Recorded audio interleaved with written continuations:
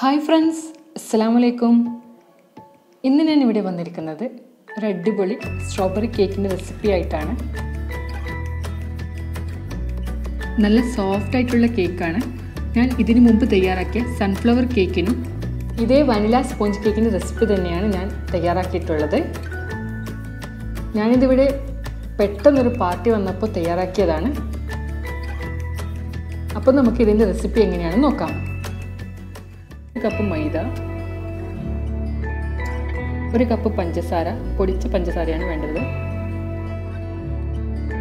അര teaspoon vanilla essence കാൽ teaspoon ഉപ്പ് ഒരു ടേബിൾ സ്പൂൺ വിനീഗർ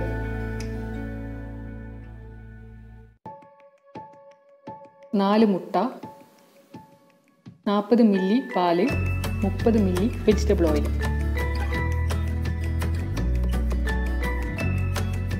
പാലും ഓയിലും മില്ലി അളവിലായതുകൊണ്ട് ഞാൻ ഇതുപോലെയുള്ള ഒരു മരുന്നിന്റെ ക്യാപ്പിലാണ് അളന്നിട്ട് വെച്ചിട്ടുള്ളത്.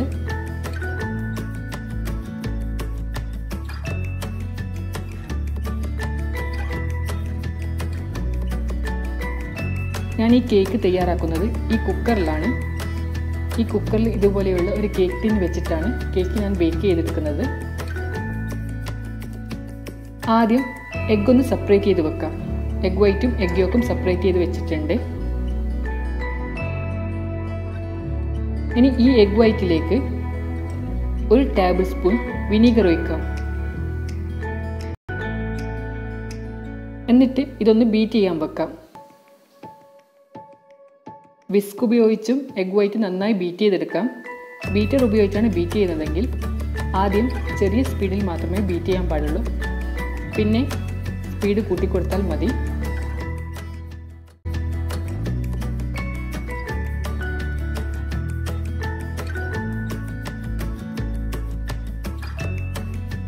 എഗ് വൈറ്റ് കുറച്ചൊന്ന് ബീറ്റായി വന്നാൽ ഇതിലേക്ക് പഞ്ചസാര കുറച്ച് കുറച്ചായി ആഡ് ചെയ്ത് കൊടുക്കാം. മുഴുവനായി ഇട്ട് കൊടുക്കേണ്ടതില്ല. കുറച്ച് കുറച്ചായി ആഡ് ചെയ്ത് ഇട്ട് വരെ ഇതൊന്ന് നന്നായി ബീറ്റ് ചെയ്തെടുക്കാം. ഇതിപ്പോൾ നല്ല ക്രീമി ആയിട്ട് വന്നിട്ടുണ്ട്. ഈ ടെക്സ്ചറിലാവുമ്പോൾ നമുക്ക് ബീറ്റ് ചെയ്യുന്നത് സ്റ്റോപ്പ് ചെയ്യാം.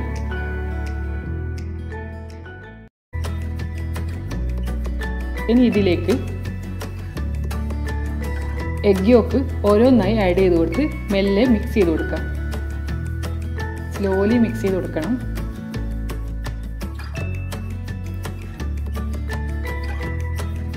മെല്ലെ ഇങ്ങനെ മിക്സ് ചെയ്ത് കൊടുക്കാം.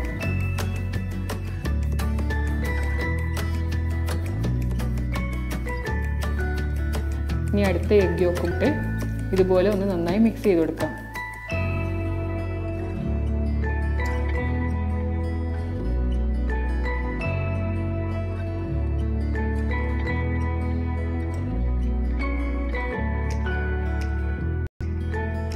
എഗ്ഗിയൊക്കെ എല്ലാം നന്നായി മിക്സ് ചെയ്ത് വന്നിട്ടുണ്ട്. അതിനുശേഷം ഇതിലേക്ക് ഓയിൽ ഒഴിച്ചു കൊടുക്കാം.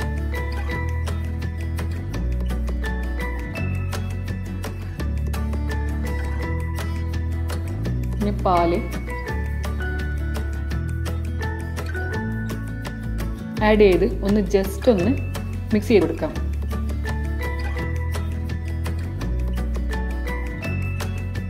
എന്നിട്ട് അര ടീസ്പൂൺ വാനില എസൻസ്.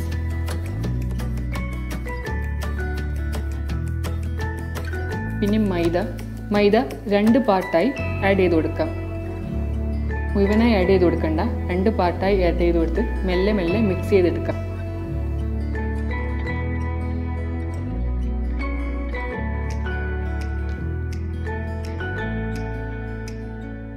നന്നായി എല്ലാം കൂടി നന്നായി മിക്സ് ചെയ്തെടുക്കാം. എല്ലാം കൂടി മിക്സ് ചെയ്ത് വെച്ചിട്ടുണ്ട്. കേക്ക് ബാറ്റർ ഇവിടെ റെഡി ആയിട്ടുണ്ട്. ഇതാണ് ഇതിന്റെ കൺസിസ്റ്റൻസി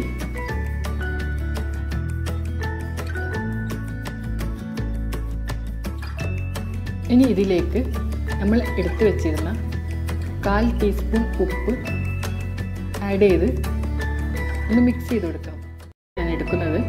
ഇത് ബട്ടറൊക്കെ തേച്ച് ബട്ടർ പേപ്പർ വിരിച്ച് മൈദ ഒന്ന് ഡസ്റ്റ് ചെയ്ത് വെച്ചിട്ടുണ്ട്.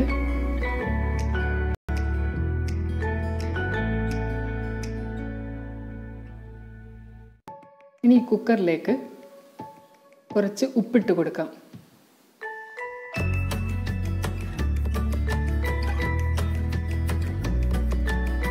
ഇതൊന്ന് ചൂടായി വരുമ്പോൾ ഇതിന് മുകളിലായാണ് കേക്ക് ടീൻ വെച്ച് കൊടുക്കുന്നത്.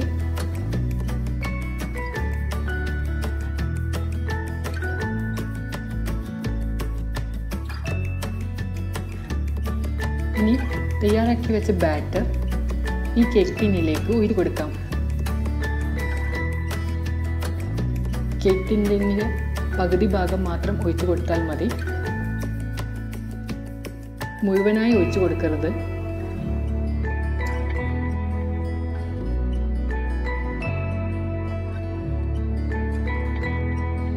ഇനി ഇതൊന്ന് മൂടി വെക്കാം. ചെറിയ ഫ്ലെയിമിൽ മാത്രമേ വെക്കാൻ പാടുള്ളൂ.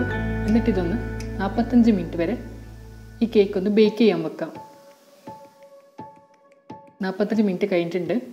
ഒരു ചെറിയ സ്മെല്ല് വരാൻ തുടങ്ങിയിട്ടുണ്ട് കേക്കിന്റെ. ഇനി ഇതൊന്ന് തുറന്നു നോക്കാം.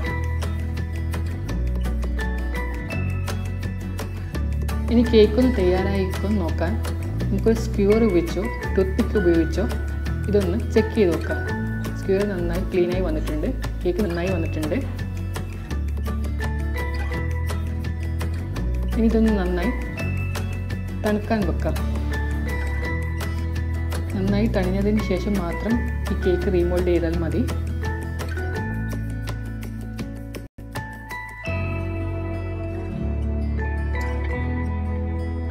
കേക്ക് ഇവിടെ നന്നായി തണിഞ്ഞിട്ടുണ്ട്. ഇനി ഇതൊന്ന് വിട്ടുകൊടുക്കാം. സൈഡൊക്കെ ഒന്ന് വിട്ടു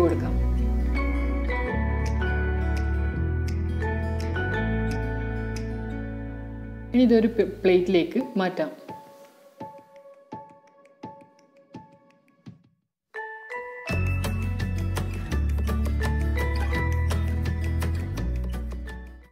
ഇനി കേക്ക് ഒന്ന് റീമോൾഡ് ചെയ്തെടുക്കാം.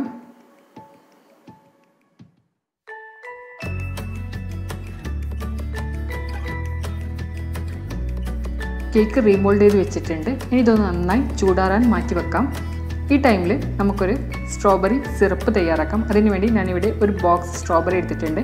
സ്ട്രോബെറി നന്നായി ചോപ്പ് ചെയ്തിട്ടെടുക്കാം ഇനി ഇതൊന്ന് ബോയിൽ ചെയ്തെടുക്കണം. അതിനുവേണ്ടി ഞാനിവിടെ ഒരു പാൻ എടുത്തിട്ടുണ്ട്. ഇതിലേക്ക് ഒരു കാൽ കപ്പ് വെള്ളം ഒഴിച്ചു കൊടുക്കാം. ഇതിലേക്ക് നമ്മൾ ചോപ്പ് ചെയ്ത് വെച്ച സ്ട്രോബെറി ആഡ് ചെയ്ത് കൊടുക്കാം.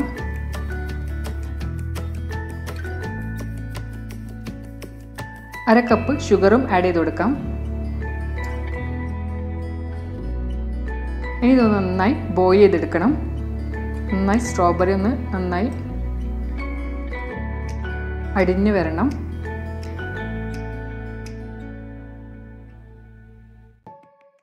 സ്ട്രോബെറി ഇവിടെ നന്നായി വെന്ത് വന്നിട്ടുണ്ട്. ഇനി നമുക്കിതൊരു സ്മാഷർ ഉപയോഗിച്ച് നന്നായി സ്മാഷ് ചെയ്തെടുക്കാം.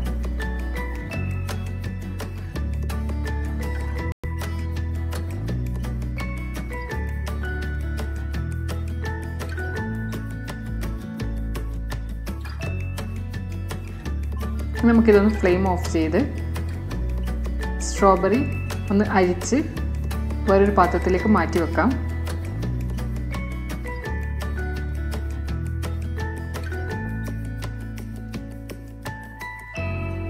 ഞാനിതിവിടെ രണ്ടും അരിച്ച് മാറ്റി വെച്ചിട്ടുണ്ട്. നമുക്ക് കേക്ക് വെറ്റ് ചെയ്യാൻ ഈ സിറപ്പ് യൂസ് ചെയ്യാം.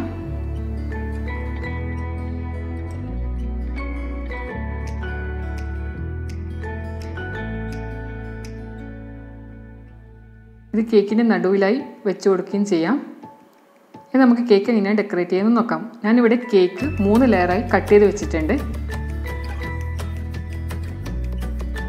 ഞാനിവിടെ ഒരു കേക്കിന്റെ ലെയർ എടുത്തിട്ടുണ്ട്. ഇനി നമുക്കിതൊന്ന് വെറ്റ് ചെയ്ത് കൊടുക്കാം.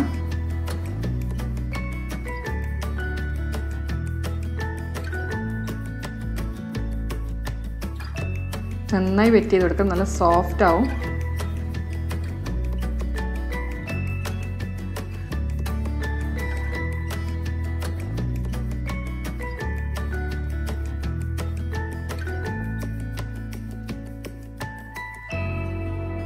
ഞാനിവിടെ വിപ്പിംഗ് ക്രീം റെഡിയാക്കി വെച്ചിട്ടുണ്ട്. ഇനി നമുക്കിതൊന്ന് സ്പ്രെഡ് ചെയ്ത് കൊടുക്കാം.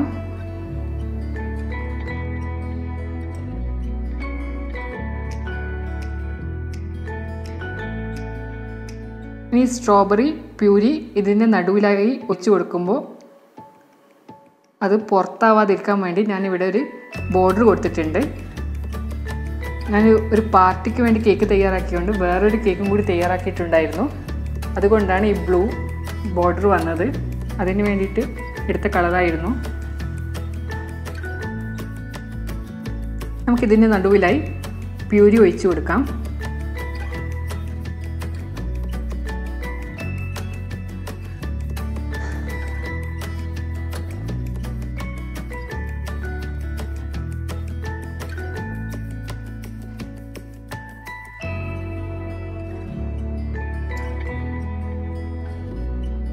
ഇതേപോലെ ഇനി നെക്സ്റ്റ് ലെയറും വെച്ച് കൊടുക്കാം. ഇതേ പ്രോസസ്സ് തന്നെ നമുക്ക് പിന്നെയും കണ്ടിന്യൂ ചെയ്യാം.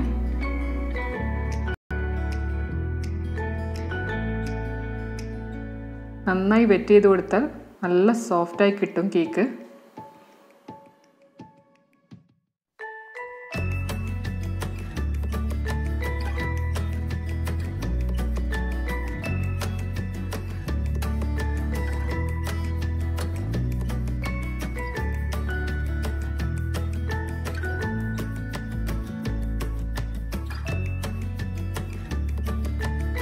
അങ്ങനെ സെക്കൻഡ് ലെയറും ഫ്രോസ്റ്റ് ചെയ്തെടുത്തിട്ടുണ്ട്. ഇനി നമുക്ക് ഒരു ബോർഡർ വരച്ചു കൊടുക്കാം.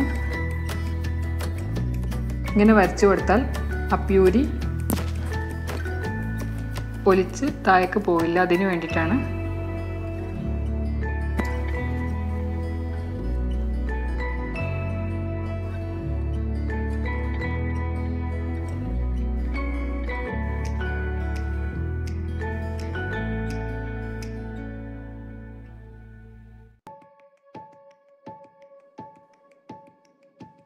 ലാസ്റ്റ് ലെയറും കൂടി ഒന്ന് വെച്ച് കൊടുക്കാം.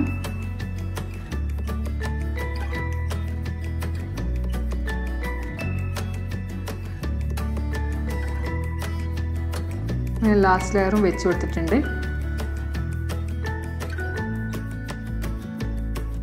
ലാസ്റ്റ് ലെയർ ഞാൻ ആദ്യം വെറ്റ് ചെയ്തിട്ടാണ് വെച്ചത്. നമുക്കിതൊന്ന് ജസ്റ്റ് ഒന്ന് ഒന്ന് സ്പ്രെഡ് ചെയ്ത് കൊടുക്കാം.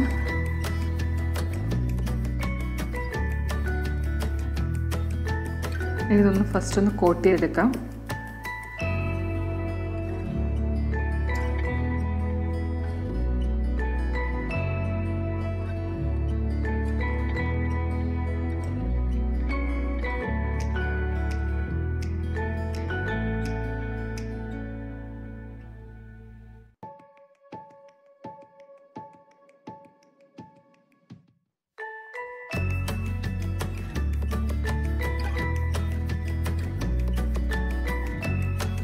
ഇത് ഫുള്ള് വിപ്പിംഗ് ക്രീം കോട്ട് ചെയ്ത് വെച്ചിട്ടുണ്ട്. ഇനി നമുക്കിതൊരു ഹാഫ് ആൻ അവർ ഫ്രിഡ്ജിൽ ഒന്ന് സെറ്റ് ചെയ്യാൻ വെക്കാം.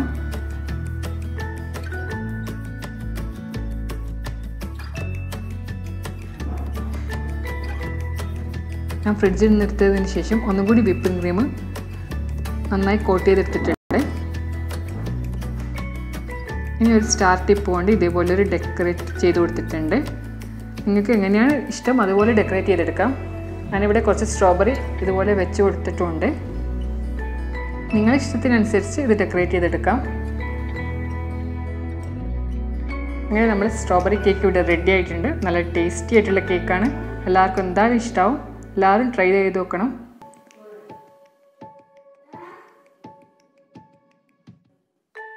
നല്ല സോഫ്റ്റ് ആയിട്ടുള്ള കേക്കാണ് റെസിപ്പി ഇഷ്ടമായെങ്കിൽ ലൈക്ക് ചെയ്യാനും ഷെയർ ചെയ്യാനും സബ്സ്ക്രൈബ് ചെയ്യാനും മറക്കരുത്. Thanks for watching